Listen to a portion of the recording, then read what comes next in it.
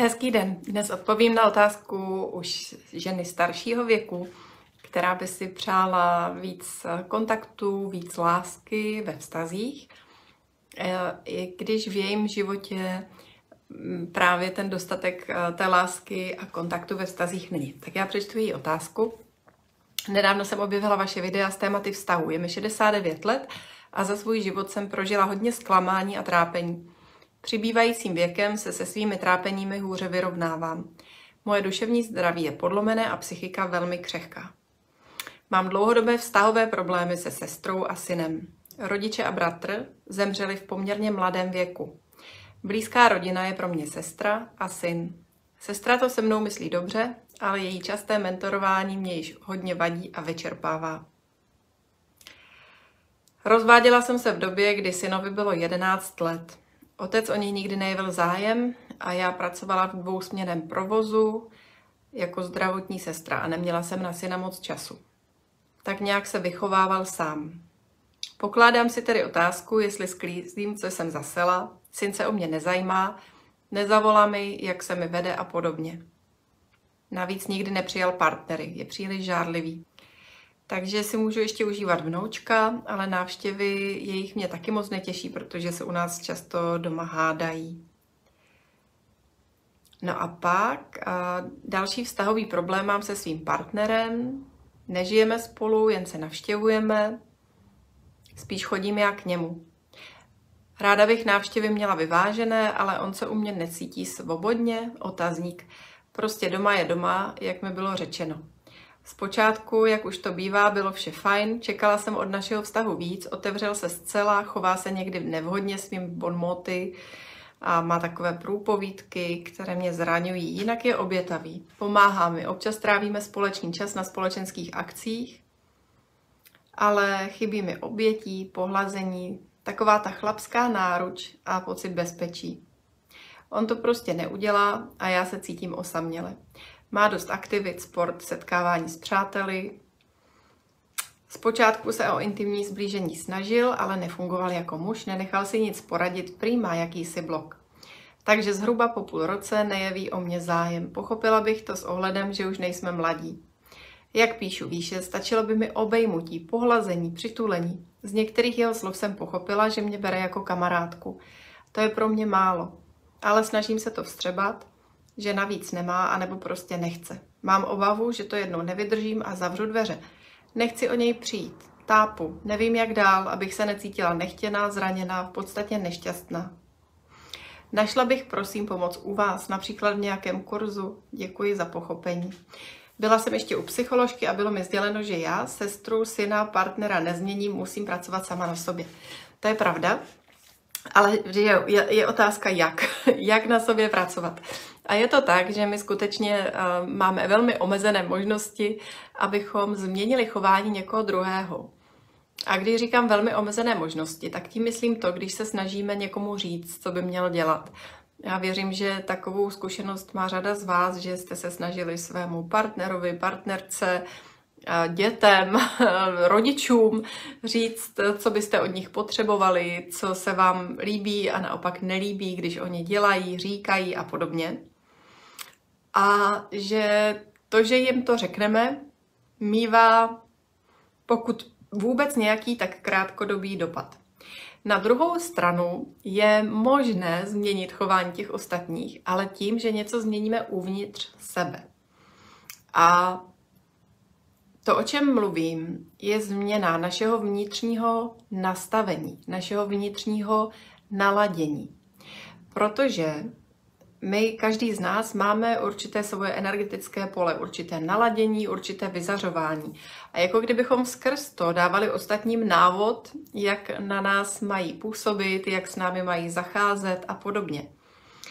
A co tím mám na mysli? Určitě poznáte člověka, a může to být úplně cizí člověk, a vy poznáte, jestli je takzvaně dostupný, jestli k němu můžete jít a něco říct a on to přivítá, anebo naopak někdy můžete mít pocit, že narazíte na člověka, že když na něj promluvíte, tak ho třeba vyrušíte. Jo? A nebo znáte lidi, kterým je radost poděkovat, protože oni ty slova díku nebo nějaké gesto poděkování s radostí přijmou, ale pak možná znáte i lidi, kteří jsou z toho takový nesví, když byste jim poděkovali. A tak vlastně i vám se úplně nechce děkovat, protože nechcete vytvořit tu trapnou chvilku. Jo? To, je, to jsou takový malý příklady toho, jak my něco vyzařujeme do prostoru kolem nás a to je ten návod, jak s námi ostatní mají zacházet. Týká se to i třeba toho, nakolik druzí dodržují a nebo naopak překračují nějaké naše hranice pomyslné. Jo? Něco, co nám pro nás je OK a naopak už není OK, když nám něco zasahuje do toho osobního prostoru způsobem, který si nepřejeme. A to naše osobní vyzařování určuje i to, jak s námi ostatní mluví, a nebo kolik na nás eh, dávají práce, delegují úkolů, anebo naopak, jak nám pomáhají. A jak to osobní vyzařování nebo to naše vlastní nastavení, jak ho můžeme měnit. Jo? Ještě bych předem řekla, že to naše osobní nastavení vzniká samozřejmě i na základě různých neúplně ideálních situací, kterými jsme v životě prošli, kdy jsme zažili třeba právě nějaké zranění a bolest v našem životě a mm, ta zatelka zažila smrt rodičů, smrt bratra, což je obrovský trauma. Píše, že jí bylo 11 let, když zemřeli rodiče a bratr. Jo. Tak tam já bych čekala masivní uzavření se, protože to je obrovská bolest na Prahu dospívání, kdy ti nejbližší lidé zmizí ze života. A my většinou na tu bolest reagujeme určitým uzavřením se. Jo? A, a vlastně ten dál život pak už žijeme z toho uzavření. Žijeme ho z toho, že si třeba nechceme nikoho úplně pustit k tělu. Takže já nevím, vybereme si muže, se kterým ale nevytvoříme úplně hluboký vztah, protože se bojíme otevřít. Jo? Podvědomně, když z našeho života odejde někdo velmi blízký a my to vůbec nemáme v rukou, tak jako ta zatelka absolutně nemohla mít tohle v rukou, tak eh, bych typovala, že se tam objeví obrovská opatrnost navázat nějaký opravdu hluboký, intimní, duševně propojený vztah, protože takový typ vztahu podněcuje tu bolest, i když je bolest třeba pak už velmi stará, i když je to po mnoha a mnoha letech. Což neznamená, že by lidé, kteří někoho ztratili ve svém životě, byli předurčeni k tomu, aby už nikdy neměli žádný blízký vztah, ale snažím se popsat tu dynamiku, ke které může docházet. Takže si třeba vyberu partnera, se kterým ten vztah je takový nemastý, neslaný, není tam velká blízkost, není tam velká hloubka a ten vztah končí rozvodem, tak jako v příběhu. A vlastně i s tím synem ten vztah neměl zas takovou hloubku. Byly tam z okolnosti složitější, byla tam práce, bylo tam málo času spolu, ale mohly to být i další věci. Jo? Jak se vlastně dělá ten blízký vztah, jak se dělá ta blízkost ve vztahu. A současně spolu s tím chci říct, ono nikdy není pozdě. Samozřejmě syn už je dospělý, a čas nevrátíme, ale na druhou stranu, dokud žijeme, tak máme možnost věci měnit. A je moc dobře, že se ta zatelka, které, jak píše, je 69 let, vlastně ohlíží za svým životem a dívá se, kde jsem možná i já udělala nějakou chybu, nebo co můžu udělat jinak dnes, tak abych zlepšila ty vztahy s mými bližními, se synem, se snachou, potenciálně pak i s vnoučkem, který je zatím ještě malý, a nebo s mužem, který je přítel, kamarád, jo nebo jak se otevřít případně do nějakého nového vztahu s mužem, se kterým ten život dál můžu sdílet. A já si dokážu představit, že hm, pochopitelně máme řadu obav, když vstupujeme do nějakého vztahu a čím jsme starší, tím víc máme svých zajetých zvyků, ze kterých se nám nemusí chtít odcházet. Tak, čím bych začala? Jo, co bych doporučila? Tím základem, úplným základem je taková jako láska, respekt, úcta k sobě. A to se snadno řekne, ale um, hůř se to uvádí do praxe, jo? nebo co to vlastně znamená ta láska, respekt, úcta k sobě. Co to znamená v té praxi života. A um, jak to udělám, jo. A tak ty první krůčky jdou přes to, že jsem pozorná vůči tomu, co prožívám, že jsem pozorná vůči tomu, co cítím, že jsem pozorná vůči tomu, co potřebuji a že sama sebe přijímám a podporuji ve svých pocitech a potřebách. Když mi je smutno a nějakým způsobem se laskavě o sebe postarám. Jo. Ty první kručky můžou spočívat v tom, že spozorním a dívám se, jaké vedu vnitřní mm, monology nebo dialogy sama se sebou. A například, když se mi něco nepovede, jestli tam spustím toho vnitřního kritika, který říká, tohle děláš špatně, tam to, bla, bla, bla, a nebo jestli se nějakým způsobem sebe zastanu a jsem k sobě laskavá. A tak na tyhle věci bych se dívala. A říkám, tohle jsou první krůčky a to vnímání sebe jde hodně přes vnímání svých pocitů, přes vnímání respekt a lásku ke svým pocitům a ke svému tělu, protože naše pocity a naše tělo jsou propojené, takže je to opravdu i od naslouchání prožitkům těla, potřebám těla a tak dále. A Tohle, když byste někdo chtěl jít víc do hloubky, je základem kurzu Láska je tvůj zdroj. Ten budu otevírat opět na podzim 2022. A pak bych věnovala pozornost tomu vztahu k mužům. A tam eh, není nutné tak dlouho čekat, protože v této době otevírám kurz Láska je tvůj zdroj ve vztahu, který je o vztahu k mužům. A tam se věnujeme tématu táty, partnera, ex-partnerů a vůbec, jak, jak ty muži fungují, jak prožívají, co je typický pro mužský prožívání a na základě toho si můžeme i víc uvědomit, co je typické pro naše ženské prožívání.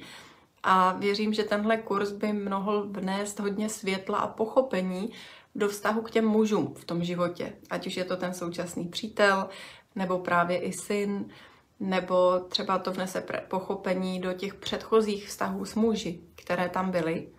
A v neposlední řadě je to i vztah státu, který byl přerušený v těch 11 letech.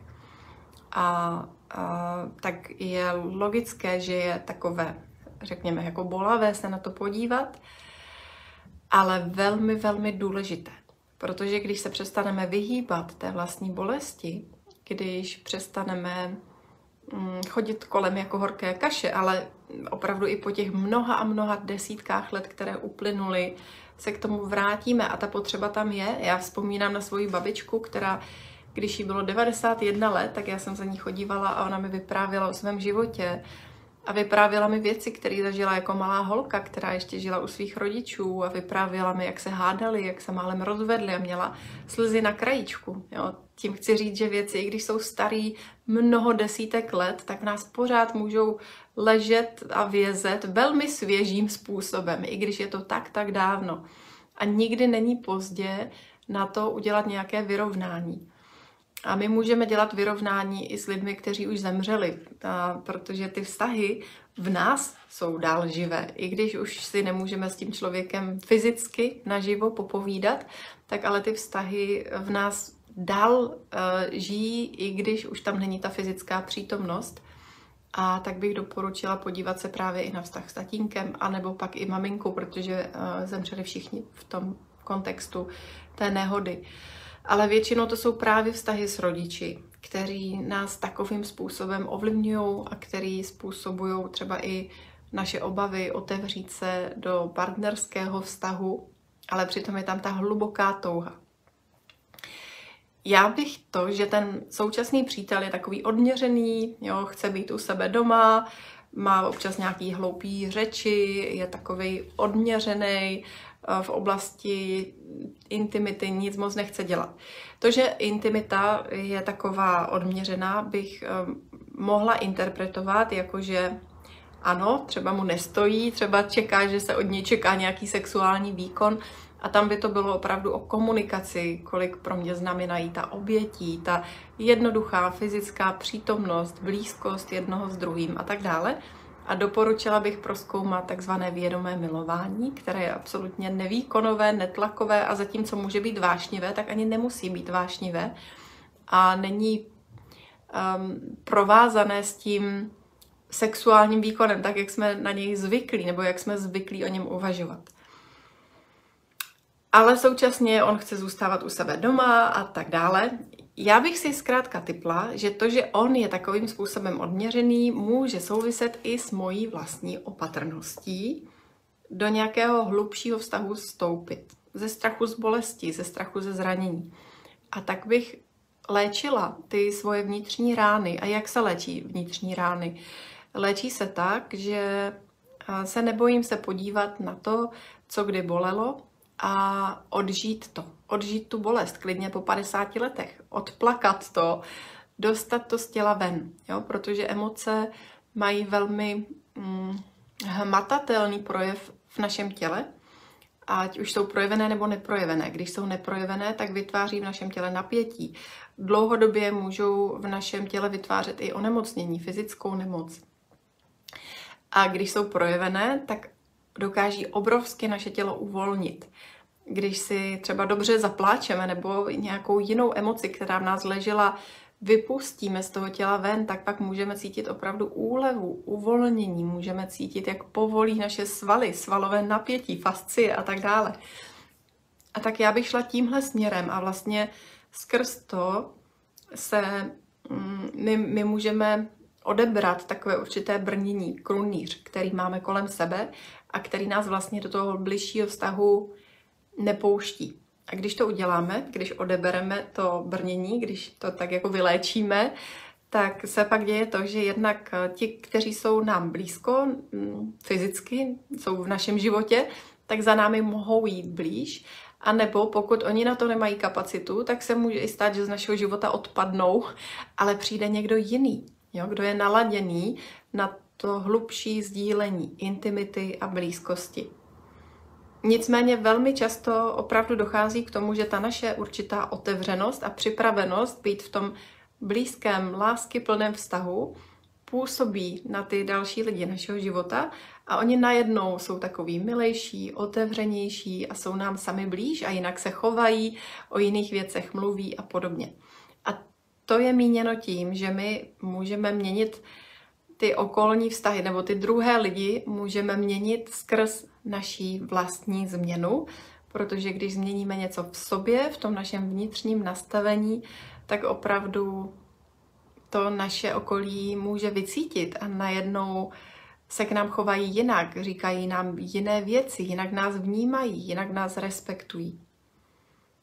A proto je velmi důležité vnímat sebe, vnímat své pocity, vnímat své potřeby, dovolit si cítit, dovolit si vyjadřovat, dovolit si léčit i velmi staré věci, které jsme nějakým způsobem prožili, klidně se k tomu vrátit i po dlouhé spoustě let a docházet skrz to k takovému vyrovnání, k takovému uklidnění a vystředění, protože spolu s tím odžíváním, prožíváním přichází i úleva. A to uvolnění je pak i něčím, co umožňuje bližší kontakt eh, s dalšími. A my samozřejmě kontakt potřebujeme, duševní, fyzický, právě ve formě doteku, obětí, držení za ruku. Je to něco, co vyživuje naše tělo a vyživuje naší duši. Takovým pojítkem v tom všem, co říkám, je nebát se zranitelnosti, nebát se vlastní křehkosti, nebát se určité nejistoty. Protože když nás něco bolí, tak my se snažíme mít věci pod kontrolou a nejde to. Je to iluzorní kontrola, stojí nás to hodně napětí, stojí nás to hodně energie. A proto bývá lepší to třeba pustit, uvolnit se a jít do toho neznáma, té křehkosti a skrz to pak většinou jako odměnu nacházíme takovou něžnost v sobě a blízkost mezi lidských vztazích. A když bychom tu cestu chtěli podpořit ještě dál, a protože ta zatelka se mě ptá třeba i, jak, v jakém kurzu mm, s těmito tématy pracuju, a hodně jsou to propojené nádoby, ale konkrétně bych doporučila, až opět budeme mít termín, v době, kdy nahrávám to video, je to 1. pátý, tak je to pětihodinový mini workshop, který vysíláme po internetu, přepis limbického otisku. Ten hodně léčí vztahy s rodiči, a zaměřuje se i na partnerský vztah, zaměřuje se na intimitu. Je to taková vedená vizualizace, která nám pomáhá přepisovat ne úplně ideální situace našeho života a jde velmi hluboce do našeho vnitřního nastavení. Takže přepis limbického otisku prvního pátý. Ještě předtím bych doporučila online kurz pro ženy, který mám. Ten přepis je pro ženy i pro muže. Pro ženy pak mám Láska je tvůj zdroj ve vztahu, který otevírám právě v těchto dnech a je to čtyř týdenní program pro ženy, také online. Já ho mm, provázím, kdy odpovídám na otázky žen. Do toho je tam spousta interakce ve facebookové skupině a každý týden jsou tam meditace, akční kroky, úkoly a sdílení. A je to velmi hluboký transformační kurz zaměřený na vztah k mužům a uzdravování vztahu k mužům, porozumění mužsko-ženskému fungování, mužsko-ženské polaritě a jak už jsem říkala, je tam vztah státu s partnerem, ex-partnery. Vřele doporučuju, ze srdce doporučuju. Opravdu je to kurz, kde potom slyším, a ten můj partner se ke mně najednou jinak chová, on je pozornější, on je citlivější a tak dále. A je to právě skrz ty vnitřní změny, které jsme udělali. No, do třetice bych pak doporučila kurz i Láska je tvůj zdroj a Láska, tělo, intimita, ona je to taková triáda čtyř týdenních kurzů pro ženy. A tak prostě začít tím, který je zrovna teď dostupný. V době, kdy nahrávám to video, tak je to Láska je tvůj zdroj ve vztahu. A potom by se dalo jít i do práce s tělem, která je velmi intenzivní a něžná a láskyplná. A Nevím, odkud je ta zatelka, ale v Praze je naše masážní studio Arkája, kde děláme takzvanou celostní smyslnou masáž Kortač, kde děláme i další léčivé modality práce s tělem, které jsou nastavené na to třeba právě uvolnění starší bolesti, která vznikla v průběhu našeho života. A já miluju tu práci přes tělo a dotek, protože je velmi efektivní, protože my často ta hlava to jako okecá, ale to tělo má svoji moudrost a my v té masáži, v té vědomé práci s tělem můžeme jít přímo k tomu, co je ta pravda v našem těle. A je to něžná práce, která pomáhá rozpustit ty krunýře a ledy v našem těle, v našem systému i v naší duši. Tak to je moje doporučení. Víceméně je to otevři se, otevři se, otevři se. A také bych doporučila vaginální mapování. K tomu nebudu říkat víc eh, teď eh, ve videu, protože se to dá najít jinde na vaginální mapování CZ. A tam k tomu mám dlouhý video, 40-minutový, kde vysvětluji, co to je, jak to funguje. A tady jenom ve zkratce řeknu, že to je metoda, která pomáhá dostat se zpátky k sobě, dostat se do svého těla, a dostat se ke své duši a dostat se k tomu, kdo jsem já a vylečit i ty bolesti a stará zranění, která třeba brání tomu, abych byla ve svém těle, ve své kůži, ve svých pocitech. Tak to jsou doporučení ode mě. Já moc, moc držím palce a mám obrovskou radost pokaždé, když se v mém okruhu ocitne žena, která je 60 plus a třeba právě i vaginální mapování prošly v našem masážním prostoru ženy, které byly takhle kolem sedmdesátky a je to tak úžasný a, a právě jedna z nich pak třeba doporučovala na mém živém ženském semináři, říká, holky, já jsem byla a to je tak super prostě a škoda, že to nebylo dřív, ale já jsem tak šťastná, že jsem to objevila teď. A tím chci podpořit všechny ženy, které si třeba z jakýhokoliv důvodu říkají, no tak to už je jako pozdě.